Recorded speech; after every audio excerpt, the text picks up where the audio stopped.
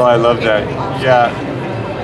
What we learned during the pandemic and uh, really being forced to do it solely online, what it did is it built that muscle that we already had with our website to be able to service millions. But now we are able to service millions uh, with, with RootsTech. So I love the words that you used. There is the reach that we had uh, but this year, for example, we're not looking to go from 3 million to 4 million to 5 million to 10 million. And in fact, our reach last year, if you look at all the social media channels, the broadcast TV we did in the Philippines and Africa, it was actually 20 million. But we wanted to do exactly what you just said. We wanted to go beyond the reach, but actually get to the depth of that.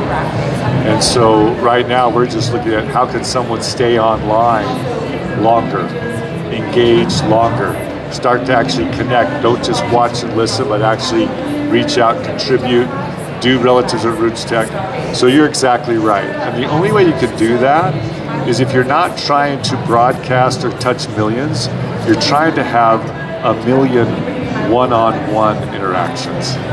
And that's what we were able to do and are able to do here in the in-person uh, part of that. It's how many one-on-one. So we never ask, well, how many attended? That's so secondary, if, you, if even a low, low priority. It's how many one-on-one interactions took place that we can't even measure, but we know that they occurred. And so we know it happens here on the on-premise. What we want to do is be able to make sure it happens here on the on-premise, and it can also still happen online. So we're actually more interested, does that person in Manila hook up with that person in Madrid and they start having interactions, and that's a huge success. Here on premise, we can watch it happen. We can hear it happen. You can feel it happen with You're the buzz. And we're going to, yes. So what we're wanting to do is we truly are, and we're so grateful that we're able to do this. We truly are wanting to make sure it's always an or. Gotcha. Never an or. It's always an and. Thank you. It's always an and so that we can do on premise and online.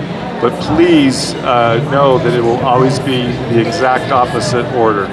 It's always online. And we will do it on premise when we can. And so, uh, yeah, we're, we're definitely planning on continuing to, to gather here in Salt Lake City.